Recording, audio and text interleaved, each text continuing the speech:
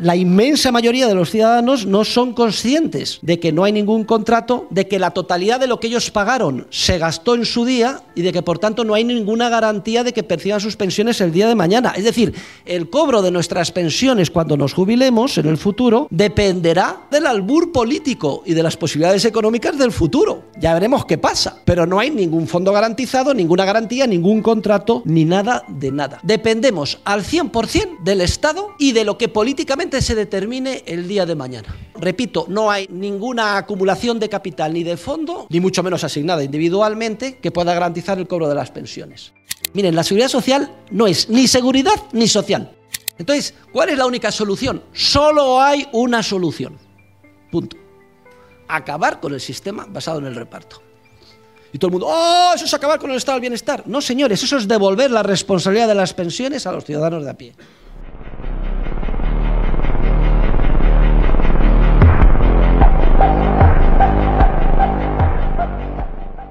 La crisis de la seguridad social es una crisis que tiene una doble naturaleza. Es decir, por un lado es una eh, crisis técnica, tiene una razón de ser técnica, de teoría económica y técnica, pero también tiene una faceta ética.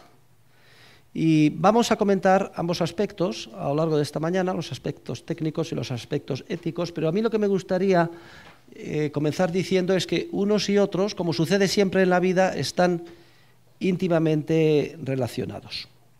Porque vamos a ver cómo las insuficiencias técnicas del sistema público de pensiones, basado en el reparto, de alguna manera producen graves injusticias, ¿eh? graves problemas desde el punto de vista ético.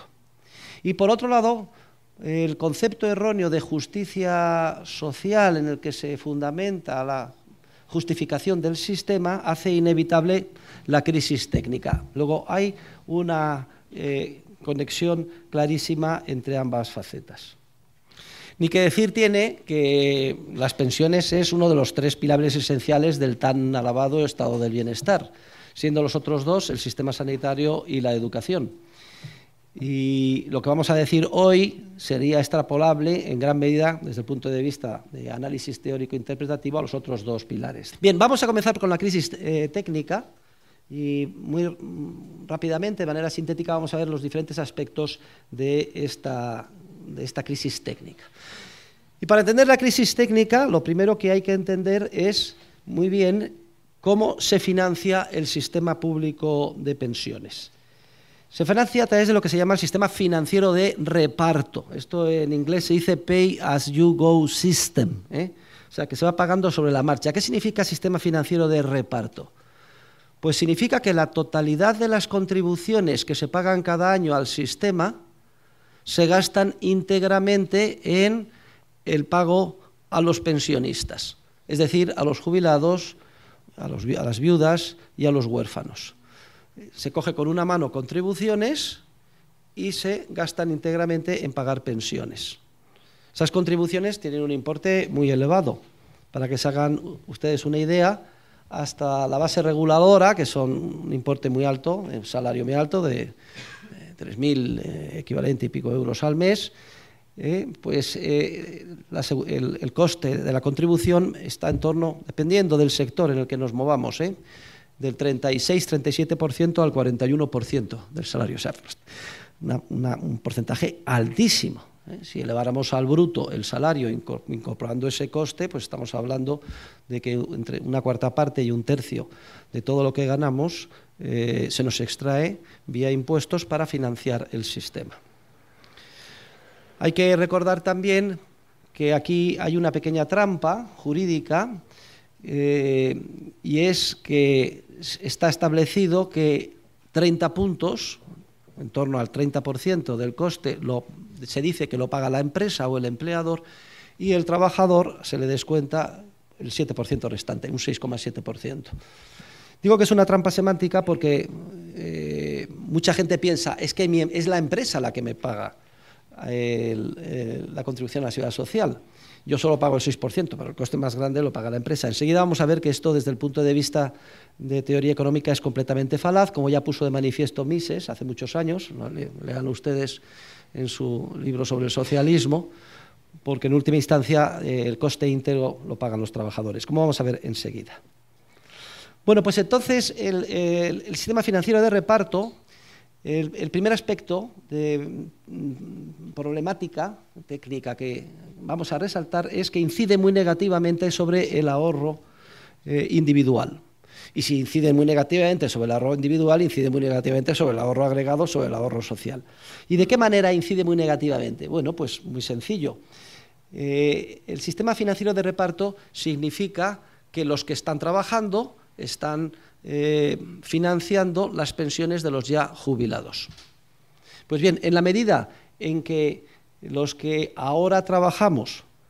Confiemos que el día de mañana, cuando nos jubilemos, los que trabajen entonces, es decir, nuestros hijos, nietos, etcétera, van a hacer lo mismo que nosotros hacemos hoy, en la medida en que se confíe por parte de la generación activa que actualmente soporta el peso de financiar el sistema público de pensiones, se confíe, repito, por parte de esa generación, que cuando ella pase a ser pasiva o jubilada, los que entonces trabajen se comporten de la misma manera que nosotros, en esa, en esa medida no es preciso ahorrar, no es preciso, eh, digamos, acumular eh, recursos, fondos financieros, o acumular bienes de capital para hacer frente a la provisión de nuestras necesidades de jubilación el día el día de mañana.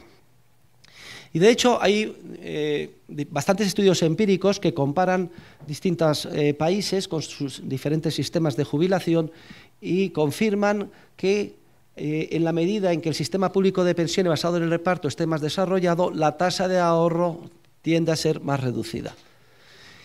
Y concretamente en el caso de España, que tiene un sistema, como vamos a ver, de de pensiones basado en el reparto muy desarrollado, con una tasa de sustitución, que ahora explicaremos lo que es, eh, muy elevada, eh, eh, sistemáticamente, dependiendo las, las diferentes fases del ciclo, la, tasa de ahorro es más reducida que la de otros países, como puede ser Inglaterra, etcétera, donde el sistema de pensiones no está financiado en base al reparto, sino a la capitalización, como es algo por otro lado fácil de entender. Este, este, este efecto negativo sobre el ahorro tiene eh, efectos muy negativos. Eh, pues, recuerden lo que decía Mises, que en economía está todo interrelacionado. De hecho, las, crisis económicas son resultados siempre de falta de ahorro, ¿eh? no de escasez de consumo, como piensan los keynesianos. Cuando se produce la burbuja, se induce sistemáticamente errores de inversión, se lleva a que los empresarios inviertan en proyectos de inversión como si el ahorro de la sociedad fuera superior al que en realidad es, engañados por las facilidades crediticias de la etapa previa de expansión crediticia, que genera de la nada la banca con reserva fraccionaria, todo ello orquestado por los bancos centrales. Y el mercado, que es muy eficiente en términos dinámicos, tarde o temprano descubre esos errores de inversión. En el momento en que se pone de manifiesto que los empresarios han sesgado sistemáticamente sus decisiones de inversión hacia un futuro más alejado en el tiempo, es decir, hacia proyectos de inversión que van a madurar en forma de bienes de consumo en un futuro más alejado, eh, que el que los consumidores, eh, las economías domésticas están dispuestos a esperar, en esa medida se pone de manifiesto que hay muchos proyectos de inversión que no son sostenibles y entonces viene la crisis financiera y la recesión económica. Si hubiera ahorro genuino suficiente para sostener esos proyectos de inversión que pudieran culminarse hasta el futuro, entonces la recesión no llegaría, la crisis no se pondría de manifiesto o sería en todo caso menos virulenta. ¿Y esto qué tiene que ver con las pensiones? Pues tiene una relación directa, como estoy indicando, porque el sistema público de pensiones basado en el reparto incide precisamente de manera negativa sobre el ahorro individual y agregado del país y por tanto agrava el proceso de mala inversión generalizada en la medida en que reduce, contrae el ahorro genuino que sería necesario para sostener los proyectos de inversión erróneamente emprendidos. Otro tema interesante, eh, otra digresión interesante en relación con esta primera insuficiencia técnica es eh, explicar la gran similitud que hay entre el sistema público de pensiones basado en el reparto y los esquemas denominados de estafas piramidales. Esto es importante que, lo entendamos. yo recuerdo cuando era pequeño que había un juego, no sé si alguno de los aquí presentes habrá tenido la oportunidad de participar en él. Te mandaban una, una postal, ya nadie sabe lo que es una postal, ¿no? ¿eh? y tú recibías la postal y decían, si manda su postal a no sé cuántos amigos, pues recibirá usted 500 postales. Bueno, pues esto era un tema piramidal porque uno recibía, mandaba y a su, vez los otros con las direcciones y al final, pues ¿eh? era un esquema piramidal. Son esquemas llamados Ponzi, ¿eh? esquemas Ponzi. famoso Ponzi fue un estafador de origen italiano en, Estados Unidos, pues que inventó un, una estafa piramidal que atrapó a miles y miles de personas en, Nueva York. Prometía, si le entregaban eh, dinero, unas, rentabilidades extraordinarias, ¿eh? pero, de, pero, de, dos dígitos, en, en, un entorno en el que había todavía patrón oro y el tipo de interés era muy bajo. Entonces, como decía mi abuelo, la gente está deseando que la engañen y, iba masivamente a, entre comillas, depositar su dinero porque eh, les entregaba, les daba una rentabilidad tremenda. Y de hecho daba esa rentabilidad. Pero ¿en qué consistía la estafa piramidal? Consistía en que pagaba esa rentabilidad con las aportaciones de los ingenuos que llegaban después. ¿Y qué pasaba con la rentabilidad de los ingenuos que llegaban después? Pues también se le pagaba rentabilidad si es que venían todavía más ingenuos después, y así sucesivamente. Se llama una estafa piramidal porque su base tiene que ir creciendo cada vez más, más, más, más, más, más. Y en teoría, en teoría, si, si, si creciera indefinidamente, o si el señor Ponzi hubiera tenido la posibilidad de, a punta de pistola, obligar a que cada vez entrara un número creciente y sucesivamente creciente de personas al sistema, ¿eh? hasta llegar a las, de todo el mundo, pues se habría podido mantener durante un periodo muy prolongado de tiempo esta estafa piramidal. Una digresión. Siempre se dice que las estafas piramidales, eh, si cogen ustedes Wikipedia, enciclopedias, etcétera, siempre se habla de Ponzi como el inventor de la estafa piramidal. Resulta que no, queridos eh, discípulos, alumnos y oyentes aquí, la estafa piramidal se inventó en España. ¿eh? y la estafa piramidal la inventó además una persona eh, muy curiosa, ¿eh? la hija de Mariano José de Larra, doña Valdomera. Les voy a contar a ustedes la historia. Doña Valdomera pues se casó y era pues, una mujer relativamente ingeniosa y entonces montó una estafa piramidal. Eh, publicó que aceptaba depósitos en oro y que daba una rentabilidad del 10% en oro. Y entonces, pues una serie de incautos empezaban a darle sus monedas de oro y ella perfectamente y religiosamente pagaba su 10%, 10% en oro. Se corre la voz y cada vez más gente y cada vez más eh, aportaciones.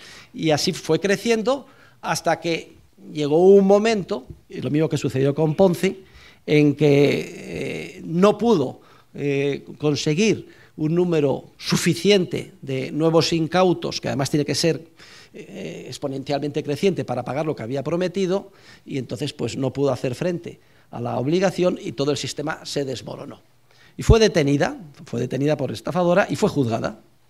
Y el caso llegó al Tribunal Supremo, el de doña Valdomera, y fue absuelta. Increíble. ¿eh? Así como Ponzi ¿eh? unas décadas después pues fue condenado e ingresó en prisión, doña Valdovera fue absuelta y además con un argumento jurídico impecable. Y es el siguiente. A ver, que se aten los machos, las feministas aquí presentes. Es que según el, según el Código Civil, a la sazón en vigor, todos los contratos en los que firmados por las mujeres casadas en los que no constara la autorización marital del marido eran nulos de pleno derecho. Y entonces el, Tribunal Supremo dijo, es que todo lo que ha hecho esta señora es nulo, aquí no hay ningún contrato ni nada, porque no constaba la autorización de su marido. ¿eh? Bueno, vemos que en uno y otro caso, eh, los sistemas de estafa piramidal, que, se basan en el reparto, o sea, se coge con una mano y se dan con la otra, y además en, unas promesas... Eh, exorbitantes, unas rentabilidades tremendas, terminan eh, entrando en crisis y desmoronándose porque por falta de entradas de nuevos incautos en un número eh, progresivamente creciente para mantener las promesas anteriores.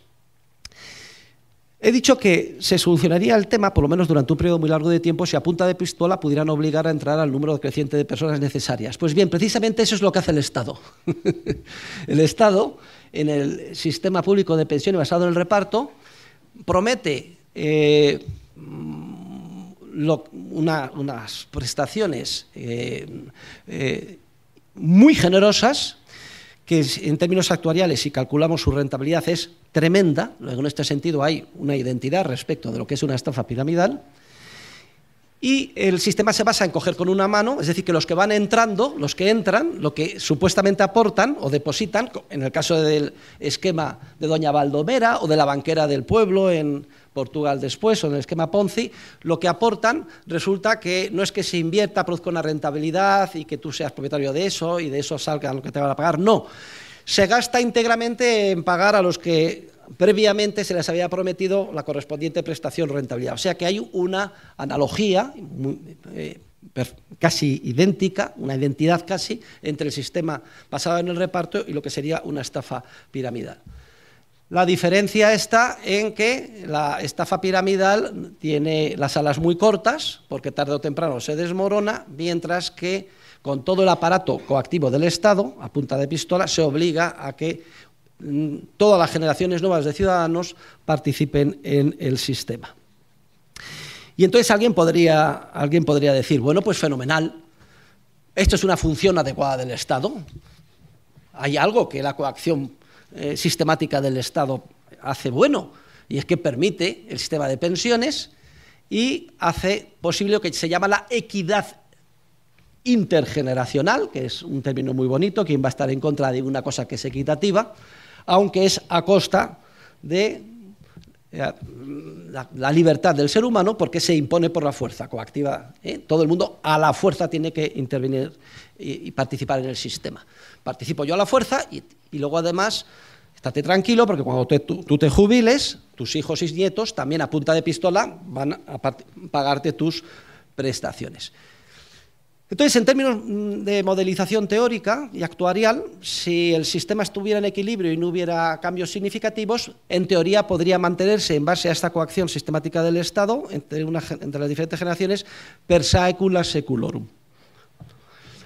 Pero hay un problema, y esta es la segunda insuficiencia, el segundo problema técnico que vamos a comentar. Hay un problema que no se había previsto en un principio, y es que a pesar de que a punta de pistola se garantice la entrada de nuevos incautos, todos, sin embargo, hay un problema biométrico.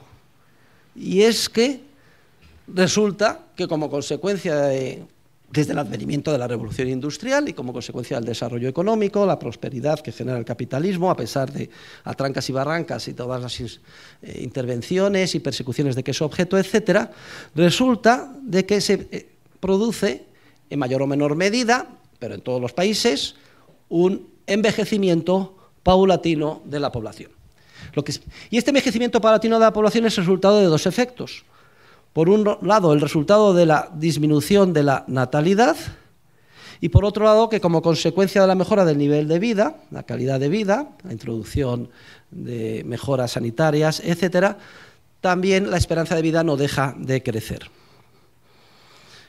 Miren, cuando, y enseguida vamos a hablar, y vamos a hacer bastantes digresiones sobre el señor Otto von Bismarck, eh, tiene la idea genial, dice, albricias, ya ha descubierto la forma ideal de solucionar el tema de las pensiones e introduce el sistema de pensiones basado en el reparto en Alemania en 1884, bueno, pues pone como edad de jubilación los 65 años y resulta que la esperanza de media de vida entonces en Alemania no llegaba a los 60 años, 60, 61. O sea que Oiga, si, yo, si usted le voy a dar pensiones a partir de los 65 y resulta que la esperanza media no llega a los 65, bueno, pues entonces la, promesa es una promesa bastante en el aire, porque van a ser muy pocos los que lleguen a esa edad.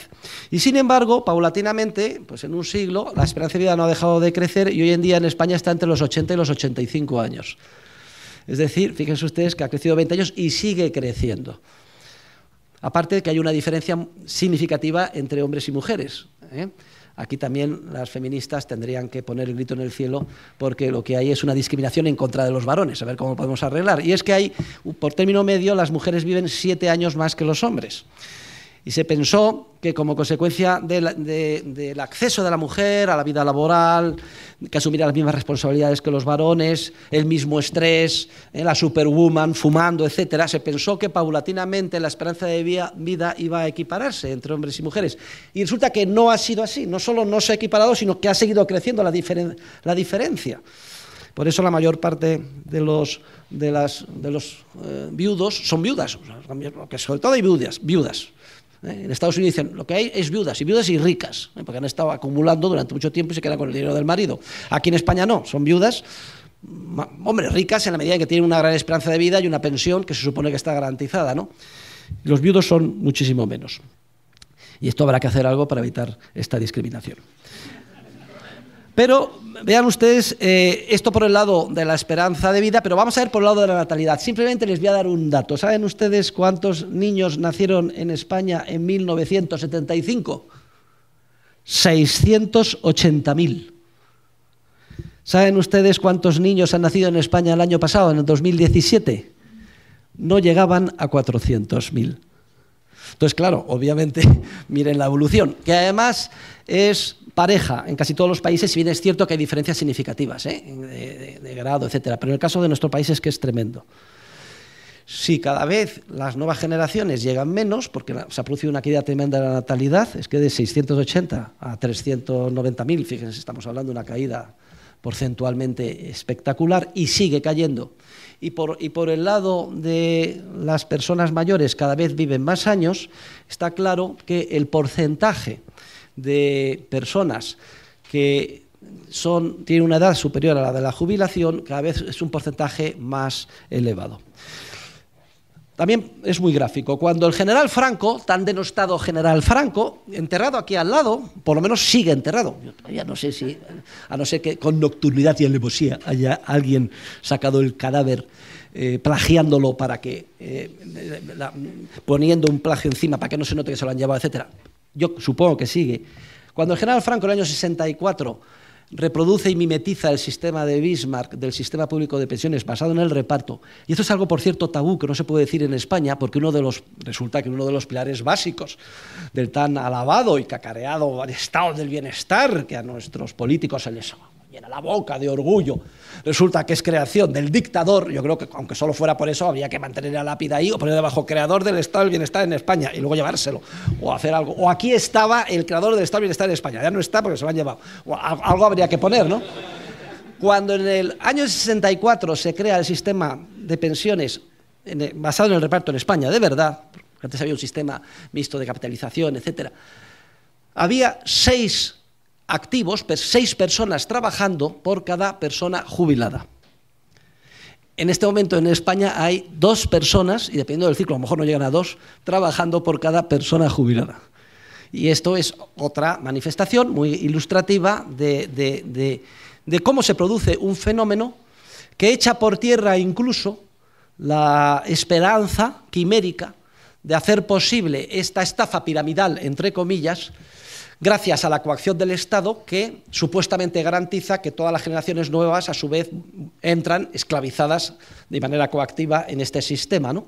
Pues aún utilizando la coacción el sistema no es viable. Y no es viable porque el incremento continuo de la esperanza de vida y la disminución de la natalidad hace que el coste de mantener a los jubilados crezca como una bola de nieve hasta hacerse insoportable. Porque es que hay proyecciones incluso para el año 2050 de que llegaríamos, o más adelante, a uno a uno. O sea, cada un activo tendría que sostener a un jubilado. ¿eh? Y eventualmente, un siglo, dos siglos, etcétera, a lo mejor resulta que medio a uno, o sea, entre habría, habría nada más que media persona trabajando para mantener a un jubilado. O sea, una cosa tremenda. Y al final, hipotéticamente, asintóticamente, todo el mundo, salario universal, gratis, todo el mundo viviendo gratis y trabajando nadie. Ese, sería, ese parece que es el ideal, que por lo menos es el ideal podemita y, de, del Partido Socialdemócrata que nos ha gobernado hace muy poco, que ha sido derrocado afortunadamente, que era el Partido Popular. ¿eh? Bien. Que también se les infla el estado del bienestar, como las, grandísimas eh, conquistas eh, sociales.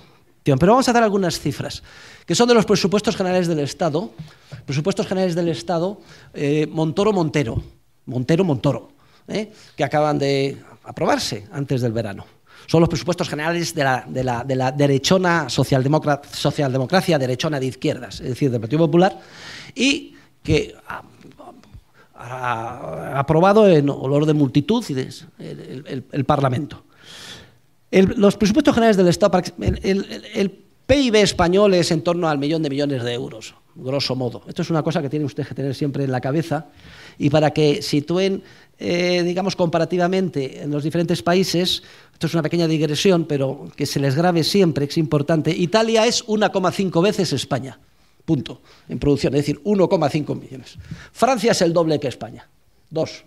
Y Alemania 2,5 veces. ¿Eh? Y si suman Alemania, Francia, Italia y el resto de los países, pues tenemos 10 veces España, y que viene a ser 10, 11 veces España el PIB de Estados Unidos. Lo digo para que todo el mundo sitúe. Bueno, en los últimos presupuestos generales del Estado, la partida más importante es la de pago de pensiones, que asciende a 140.000 millones de euros. 140.000 millones de euros, que es sensiblemente más de 10.000 millones de euros al mes. ¿Y vamos, cómo se sitúa esto? Vamos a ver. Pues para que son entre 11 o 12.000 millones de euros al mes. Todo el presupuesto de la defensa nacional son 15 días de nómina de pensiones. todos los soldados, los ejércitos, etcétera, 15 días. Estamos hablando de 7.000, 8.000 millones de euros. ¿eh? Todas las obras públicas de España, 20 días de nómina de las pensiones. No llega ni al mes. Todas las obras públicas, todos los aves, etcétera. Todo el sistema educativo español, esta sí que es la otra pata del sistema de pensiones. Entre tres y cuatro meses de nómina del sistema público de pensiones. Lo digo para que nos hagamos, para que en, términos proporcionales nos situemos de lo que estamos, de lo que estamos hablando. Y claro, ¿qué sucede? Bueno, eh, aparte, ahora lo comentaremos también, de haber echado por tierra las reformas que eran parcheos y que daban un poquito de aire y de oxígeno y daban una pequeña prórroga para ir tirando que había aprobado el Pacto de Toledo hace pocos años y que por, un plato de lentejas se vendieron y quedaron en suspenso por el Partido Socialdemócrata, que ahora está en la oposición, eh, con la finalidad de conseguir terminar la legislatura. La maniobra les salió perfecta porque diez días después fueron expulsados del, del gobierno y fíjense la herencia que han dejado a España. Bueno, pues las contribuciones que se obtienen del sistema y a pesar de que estamos saliendo de la crisis y mejorando el paro, eh, incrementándose el empleo, etcétera, resulta que hay un déficit estimado al año de 18.000 millones de euros. Diferencia entre las pensiones que se van a pagar o se están pagando y las contribuciones que se obtienen del sistema. Es decir, un, un déficit que es entre el 15 y el 18% del PIB. Lo digo porque no, entre, entre el 1,5 y el 1,8% del PIB, del déficit, el déficit del sistema, que viene a ser eh, el 15% del total presupuesto de la seguridad social. Si hemos dicho que son 140.000 millones, pues hay 18.000 millones de déficit.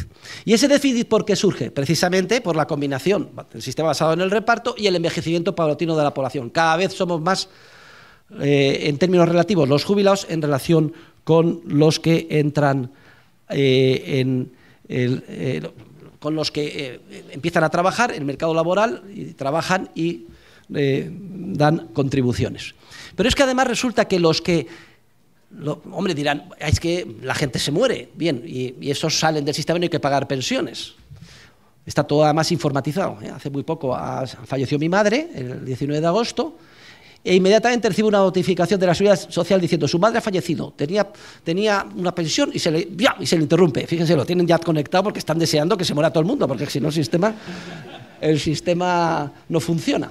Pero resulta que mm, eh, entran a un ritmo más rápido de los que salen como consecuencia del envejecimiento palatino de la población, las mejoras, la prosperidad, las mejoras sanitarias, etcétera, y además la pensión media que percibía o que perciben las personas que van falleciendo es sensiblemente inferior a la pensión de los que entran. Otro problema agravado. ¿eh? lo que hace que el sistema todavía sea más, más, más insostenible. Y luego está el tema de la tasa de sustitución, que es muy importante. La tasa de sustitución lo que refleja es, por término medio, qué porcentaje representa la pensión respecto del salario que se percibía en activo. Y es muy interesante ver la tasa de sustitución de todos los países de la Unión Europea.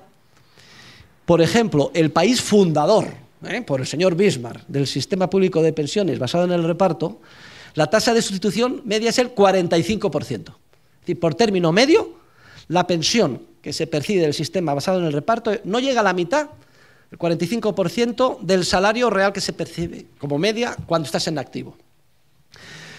Pues bien, España, como aquí somos más machotes que nadie, e inventamos la estafa piramidal, gracias a doña Valdomera, aquí la tasa de sustitución es el 70%, entre el 70 y el 75%, porque somos, muy, porque somos gente que está del bienestar.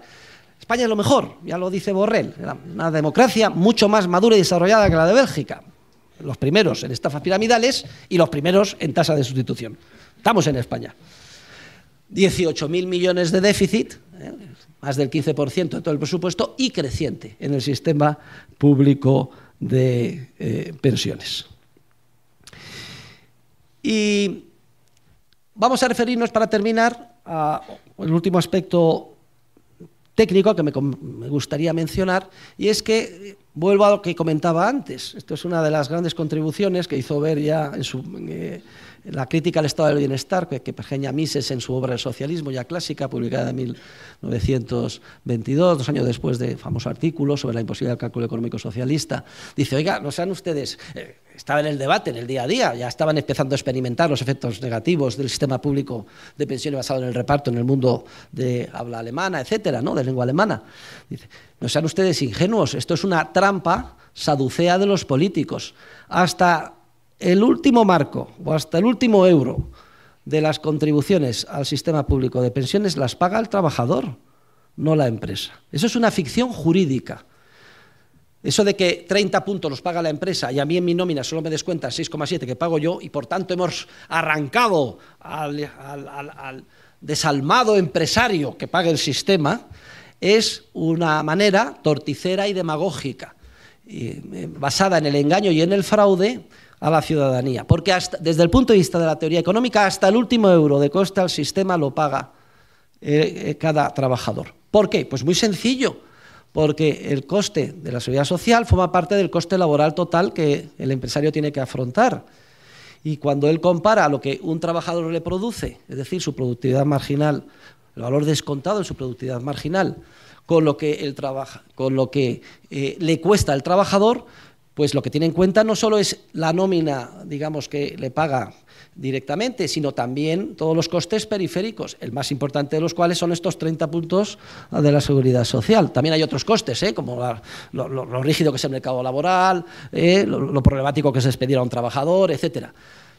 Al empresario, a todos los empresarios les daría lo mismo ¿eh? pagar esos, 30 puntos a sus trabajadores directamente. El coste laboral no, no se incrementaría ni un céntimo de euro.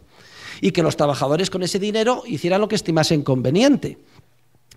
Claro, esto no, no, les interesa a los políticos que se generalice esta idea, porque entonces eh, sí que empezaría a cuestionarse todo el sistema, porque muchos harían números y dirían, anda, es que me están quitando el 25% de lo que yo gano, y yo a lo mejor con ese dinero es que soy, aunque sea mil eurista, joder, mil euros al mes, pero es que el 25% son 250, ¿eh? que son 3.500 euros al año. Es que yo con 3.500 euros al año los meto en un fondo de pensiones, o se los doy a García Paramés, o la compañía España de Seguros, que es la mía, y hacemos un seguro de jubilación, y un mil eurista es que acumula un, un capital a la jubilación inmenso. Y además que una pensión garantizada de verdad, es decir, de las que puedo ir a los tribunales a exigir porque está respaldada por inversiones reales que existen ahí y no en un sistema basado en la estafa piramidal de eh, doña Valdómera.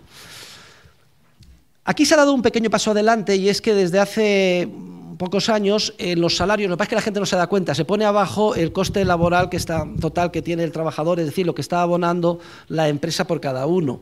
Lo que pasa es que nos ha dado el paso de elevar al bruto los salarios, que es lo que había que hacer, y poner el descuento como el IRPF. ¿eh? Tal descuento, descuento a cuenta de IRPF en la nómina. Luego, descuento para la seguridad social. si metemos el 37%, fíjense ustedes, el 30 o 30 y pico que está pagando el empresario, más el 6,7 que ya nos descuentan, eso la gente que está, los administrativos, los white collars, porque si estamos hablando de un marino, ¿eh? lo digo porque yo tengo dos marinos contratados en mi barco, pues es el 41%, porque se supone que el riesgo profesional es mucho más alto, etcétera. 41%, lo que estamos hablando es una, fortuna. Bien, y ahora muy brevemente he resumido los problemas técnicos que hacen que este, este, sistema sea insostenible y además el problema es insoluble. O sea, esto está clarísimo. antes he dicho, es el problema más grave que hay. Y si tenemos una responsabilidad pero es que a nivel ciudadano de cualquier persona de a pie en nuestro país hoy en día es la de estudiar, entender esto y, por parte de los expertos explicarlo. Es curioso, pero esto es un secreto a voces. Este es el secreto a voces que nadie dice. O sea, esto que estoy explicándoles a ustedes lo saben todos los, todos los funcionarios del Ministerio de Trabajo, incluso hasta los políticos, incluso, hasta, incluso, fíjense, hasta los presidentes de gobierno, incluso hasta los doctores, presidentes de gobierno lo saben. Incluso, fíjense ustedes. ¿eh? Lo sabe todo el mundo, un secreto a voces, pero es un secreto a voces que no se puede decir, porque de hecho se creó el llamado Pacto del Silencio, más conocido como Pacto de Toledo. Mantengamos esto en silencio, mantengamos montado el sistema de que el estado del bienestar es algo buenísimo y que no se conozca, y luego ya entre bastidores vamos a ver qué parcheos hacemos para que esto pueda eh, tirar eh, pues otro, otro, otros, otros cinco años, otros diez, etcétera. Y no lo vamos a hacer moneda de discusión política, porque como todos sabemos que es insostenible y todo es una mentira, pues nos quedamos todos con el equipo. Y esto es algo que está empezando un poco a quebrarse ahora. ¿Qué pasa? De cuando se hace una mentira generalizada, la democracia, esto es algo que el profesor Bastos aquí presente siempre explica muy bien, mucho mejor que un servidor, la democracia es, se basa en, en el engaño, en la mentira. Es un sistema que se basa en la mentira, ¿no? Bueno, pues mantengamos esa mentira en la medida posible oculta y que, siga el carro para adelante. ¿Qué pasa? Que en cuanto hay la menor cuestión, como todo se basa en la mentira, ¿qué es lo que sucede? En cuanto, pues que salen millones de jubilados a la calle a exigir algo lo más lógico del mundo. Yo tengo, hombre, obviamente, he estado trabajando toda mi vida y cotizando, tengo derecho a mi pensión y además que, ser, que menos que se revalorice con el IPC. Y todo el mundo, claro, obviamente, que se revalorice con el IPC. y grandes manifestaciones, etcétera. Luego ven un problema insoluble, un gran pacto de silencio, todo basado en una mentira, en un fraude y los efectos que tiene. Y una encrucijada, una tesitura. No hay forma humana de salir de esto. ¿eh?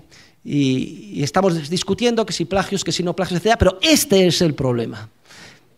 ningún político se atreverá nunca eh, a, afrontarlo, entre otras cosas porque destapar la mentira significa una decepción generalizada y un coste en términos políticos inmenso. Y esto me da pie para comentar el primer problema ético íntimamente relacionado con los anteriores. Y es que el sistema de reparto en el que se basa el sistema público de pensiones es esencialmente inmoral e injusto, porque no ofrece ninguna garantía.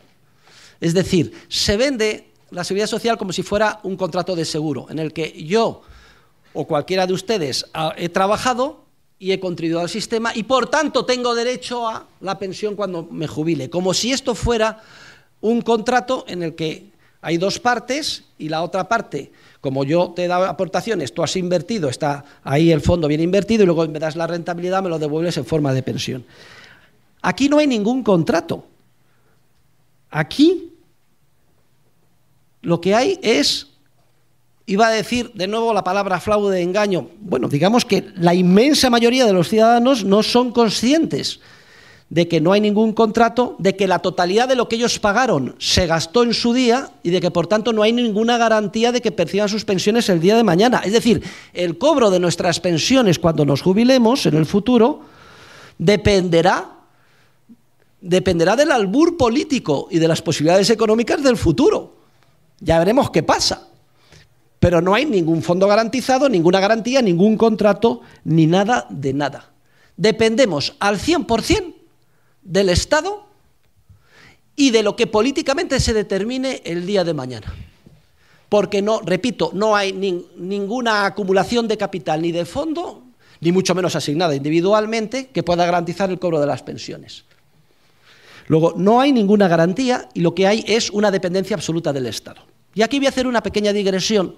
Yo les recomendaría a todos ustedes que leyeran eh, el artículo sintético sobre la historia del liberalismo en Alemania, que hemos publicado en su versión española, hace dos números en la revista Procesos de Mercado. El artículo está escrito por Ralf Raiko, fue doctor en, historia y gran eh, eh, libertario austriaco, y con motivo de su fallecimiento y en homenaje a él publicamos este artículo. Léanlo porque es que no tiene desperdicio, pero le voy a hacer un pequeño resumen del artículo. La historia de Otto von Bismarck es la historia del político sin escrúpulos. Comienza liderando el Partido Liberal Alemán, pero luego, paulatinamente, cada vez se va sesgando más hacia la eh, hacia el estatismo autoritario. Iba a decir la derecha, pero no, es el socialismo autoritario, que es lo que es la derecha, vamos. Y eh, creando un Estado eh, prusiano cada vez más militarizado, con un, ejército creciente, esa idea grandiosa de militarista alemana, y entonces esto ya empieza a producir excisiones en el Partido eh, Liberal Alemán. Luego protagoniza la Kulturkampf, dice es esencial que la educación la monopolice el Estado. Eh, la idea de todos los políticos de adoctrinar, controlar la educación para que para adoctrinar a, toda la ciudadanía y convertirlos en un ejército al servicio del Estado. Mira lo mismo que sea el Estado español o eh, la República eh, catalana, porque son todos los mismos perros con distintos collares. Todos quieren. ¿eh? nadie cuestiona que la educación sea pública y lo que hay una lucha a muerte es por ver cuál será el contenido del adoctrinamiento. ¿eh? Unos quieren que sea el de Mao Zedong, otros quieren que sea el, estatista republicano, otro el estatista nacional, etc. entonces, esta idea de la educación estatal la impone Bismarck y entonces hay un tremendo debate porque las iglesias, encabezadas por la Iglesia Católica, se rebelan y dicen que no, que hay que defender la libertad, la libertad de educación, que no debe ser responsabilidad del Estado educar a los ciudadanos. Una idea recogida, por ejemplo, por Wilhelm von Humboldt, ¿eh? El gran liberal alemán, porque dice que eso termina siendo adoctrinamiento y que tienen que ser los padres los que decidan, según sus circunstancias, ideologías, creencias, etcétera, cómo educar a sus hijos. Entonces se organiza el Kulturkampf, donde por un lado están los libertarios, encabezados por la Iglesia Católica, y en el otro lado los eh, pseudoliberales, ya sesgados y liderados por Bismarck, hacia el estatismo, defendiendo el adoctrinamiento jacobino de la vía de educación. Eh, vía educación eh, estatal. Y entonces tiene otro problema Bismarck importante y es que empieza a surgir un partido socialista, marxista, importante en Alemania, cada vez atrae a más trabajadores y entonces él quiere bloquear esa especie de movimiento de izquierdas. ¿Y cómo piensa que lo puede solucionar? Albricias, ya lo he descubierto. Vamos a prometer un sistema de pensiones y además basado en el reparto. Y establece en 1884 un proyecto de ley que se aprueba en el Parlamento, estableciendo un sistema como el que les acabo de explicar por primera vez en Europa, hasta el punto de que hoy en día se conoce como el sistema financiero del reparto como sistema continental europeo de origen bismarquiano. ¿eh?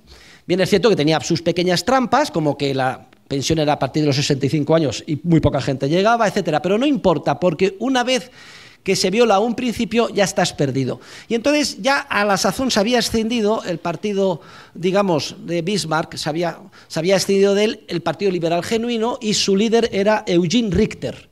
Y ese es muy importante porque Eugene Richter, que era, tenía una mm, capacidad de oratoria extraordinaria, hay un, hay un eh, debate que tienen ustedes que leer en el que Richter pide la palabra y le dice a Bismarck, señor canciller, ¿Es usted consciente de que si sale adelante este proyecto de ley, repito, del sistema público de pensiones basado en el reparto, va a hacer dependiente a todo el pueblo alemán de por vida del Estado.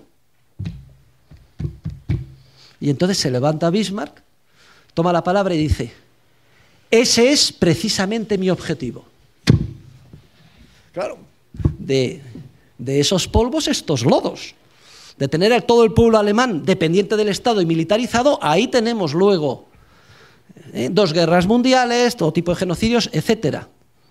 De tener a todo el pueblo español dependiente del Estado, ahí está este problema insoluble. Pero es que además, desde el punto de vista ético, es muy dudosa la, legitimidad ética de colocar este peso inmenso en el hombro de nuestros hijos y nietos y de personas que incluso todavía no han nacido, que es el de mantenernos el día de mañana en base a este sistema. ¿Es que les hemos pedido su autorización? Claro, como el sistema es inviable, al final es un juego suma cero. Si se mantienen los compromisos que los políticos irresponsablemente han hecho en este ámbito, es a costa de poner un peso cada vez más insoportable en los que trabajan.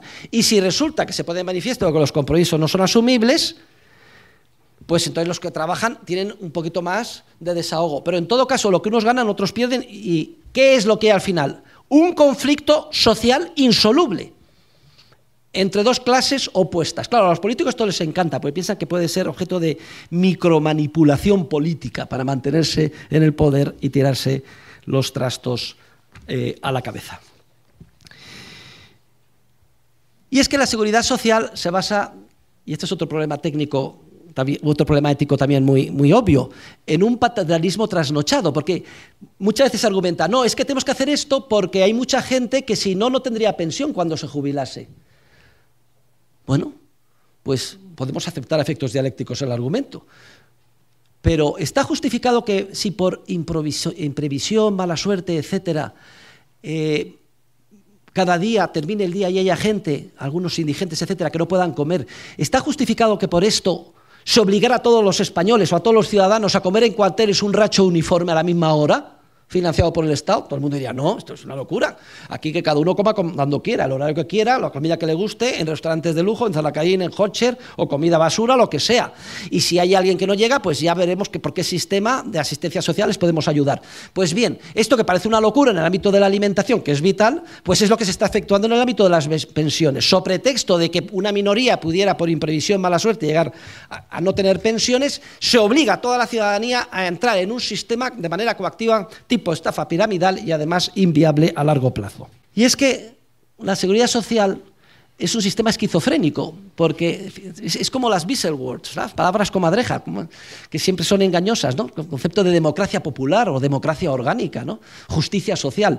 ¿eh? Siempre se le pone este añadido y entonces es para mm, significar justo lo contrario de lo que es. Miren, la seguridad social no es ni seguridad ni social.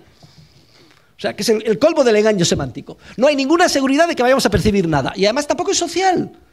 Porque es que hay mucha gente que le están quitando el 30% de su sueldo y son menos de mil euristas, a lo mejor para pagar pensiones a millonarios. Es el colmo de los absurdos. Entonces, ¿cuál es la única solución? Solo hay una solución. Punto. Acabar con el sistema basado en el reparto. Y todo el mundo, ¡oh! Eso es acabar con el estado del bienestar. No, señores, eso es devolver la responsabilidad de las pensiones a los ciudadanos de a pie.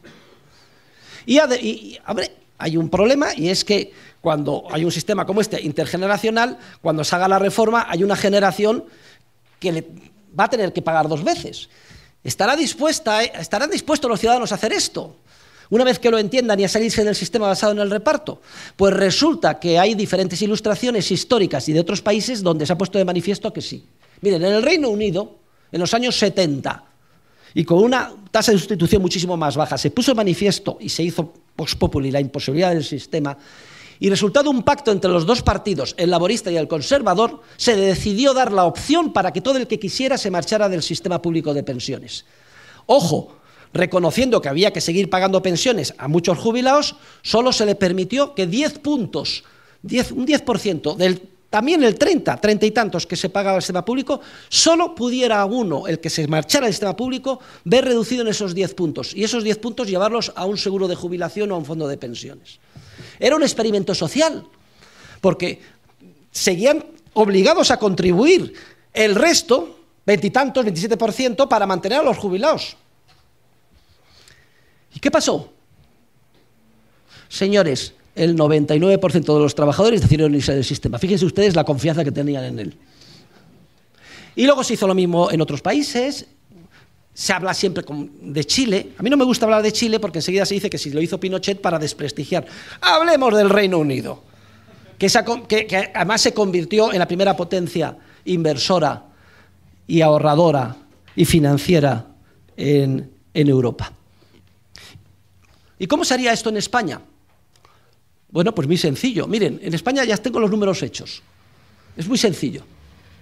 En España damos la misma opción. El que quiera irse, que se marche. Diez puntos que se puede llevar diez para su sistema privado de pensiones. Y luego, eso sí, el compromiso de seguir contribuyendo al sistema. ¿Durante cuánto? Una generación. Ya no entra gente nueva y hay que seguir pagando hasta que el último jubilado de los que hay ahora se mueran. 25 años.